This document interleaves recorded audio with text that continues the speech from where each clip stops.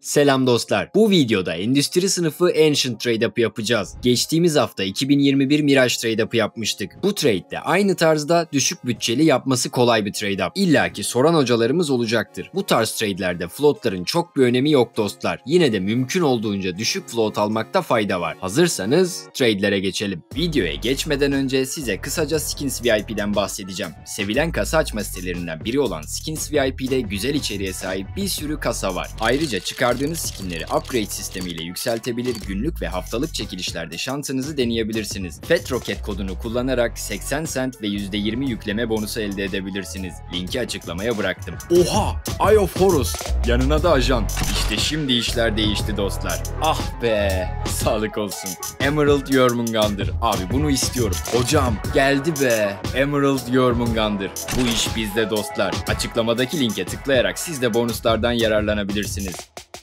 Her zaman olduğu gibi 2 adet Ancient, 8 adet 2018 Nuke skin'i kullandık. Tam olarak %80'e 20 bir şansımız olacak. Bu arada yapacağınız trade'leri ve potansiyel sonuçları TradeUp Spy'dan kolayca hesaplayabilirsiniz dostlar. Linki açıklamaya bıraktım. Artık bu tarz trade'lerin müdavimi olduk dostlar. Umarım şanslı bir başlangıç yaparız. Hadi bakalım.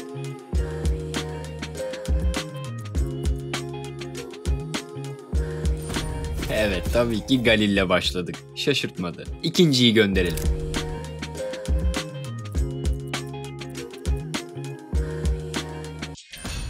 Oh be çok rahatladım. Güzel. Bir tane Ancient skin'i yakaladık. Son şansımız dostlar. Bunu da alırsak çok güzel bir karımız olacak. Gönderdim. Ah be. Maalesef olmadı. Üçte birle kapattık. Ama hiç yoktan iyidir. Hızlıca kar zarar tablomuza geçelim.